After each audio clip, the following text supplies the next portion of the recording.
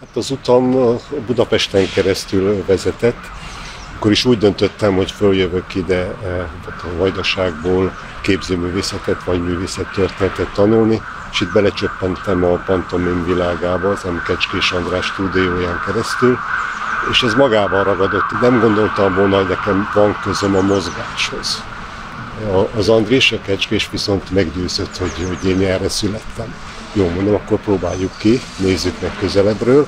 És ő mondta, hogy mivel jugoszláv állampolgár voltam, hogy utazhattam, és hogy menjek ki Párizsba, és ott nézek szét. Ott viszont rám szakadt a kortás tánc világa, amiről itthon nem nagyon lehetett hallani.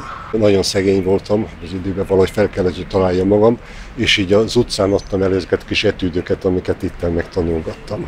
És fölfigyelt rám egy koreográfus, aki arra járt, és meghívott magá, magához a hogy akkor vegyek részt egy fesztiválon.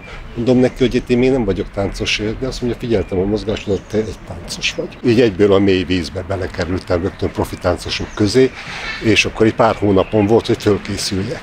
És vértízadva, úgy, ahogy helytáltam, úgy érzem, úgy tudok visszaemlékezni, hogy nem tévedtem a színpadon.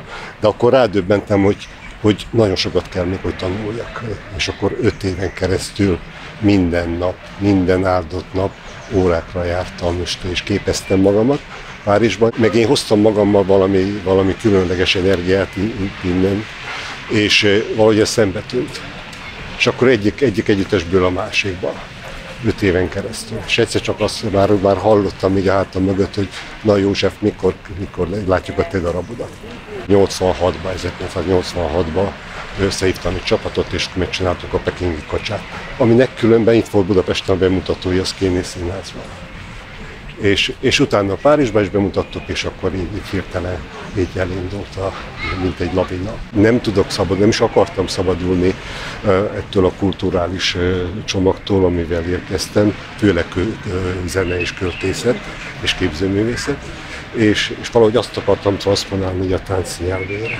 Nem akartam én megfelelni ilyen, ilyen posztmodern vagy, vagy más, más irányzatoknak, mint ahogy a többiek általában a franciák tették. És akkor ez valahogy bejött, és akkor onnantól kezdve, tehát 87 óta folyamatosan csinálom meg arabokat és járom a világot. Az emberi kifejezésnek az egyik legmagasabb és a legtisztább formája, ami egyben ugye zene is számomra a zene az, de mivel hogy a tánc az, az, az egy vizuális zene, és, és az ember így, így, így képes ezen keresztül kifejezni valójában a lelkét, azok a legmélyebb dolgokat. Így a leg, azt hiszem, hogy a legnagyobb szerencsénk, hogy, hogy, hogy, hogy egyáltalán ezt még műveljük, hogy nem szakadtunk el ettől. Nagyon erős elemény élmény, amit nyújt, a, nyújt az előadás. Rengeteg finomsággal, ráadásul ilyen hátsó utalásokkal, a sorsról, a történelemről, magáról az, az emberről, és arról a tartásról, amire szükségünk van ma. És hogy a másikat elfogadjuk, a, a másságot. Másságban magunkra ismerjük.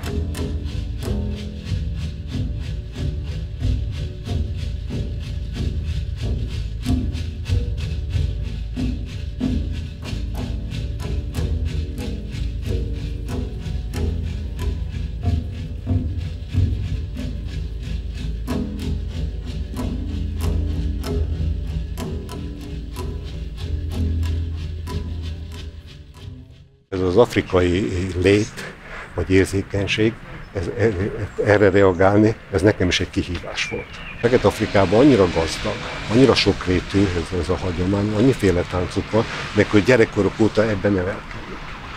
Tehát át, át, át, ritmussal át vannak, át vannak, át vannak szőve, itatva és valahogy olyan természetesen, és, és olyan intuitív módon úgy reagálnak, és olyan nyitottak, és olyan képzeletviláguk van, ami, ami, ami meglepett. Rájöttem, hogy 30 év alatt soha nem volt, mindenféle nemzetiségű volt az együttesemben, de, de afrikai táncos még nem. És, és közben meg többször is voltam Afrikában, és, és, és fantasztikus élményeim voltak, hihetetlen jó táncosokat is láttam, és úgy döntöttem, hogy na akkor most egy csapásra nézünk szembe ezzel. És akkor fel, felvételiztettem nyolc táncost. Nagyon örülök ennek a találkozásnak, mert hihetetlen e, emberi és, és, és művészi élménybe volt részem. megtapasztalni az, hogy na itt most tényleg más kultúráról van szó, és mégis milyen közel van, és mennyire, mennyire megtaláltuk ezt a közös hangot. Ez az én szignatúrám, én aláírásom, a, a, a, a Peking kacsától kezdve a mai napig fekete öltönynadrágban. És valahogy ö, ö, ebben nekem benne van ez, ez, a, ez a kicsit ez az ünnepi jelenlét is. Tehát, tehát, és ráadásul még a, a fényt is nagyon szépen, tehát grafikailag a, a, a, az emberi test így nagyon-nagyon jelen van, nagyon szépen a, a színpadon. Úgyhogy ehhez még ragaszkodom egy kicsit.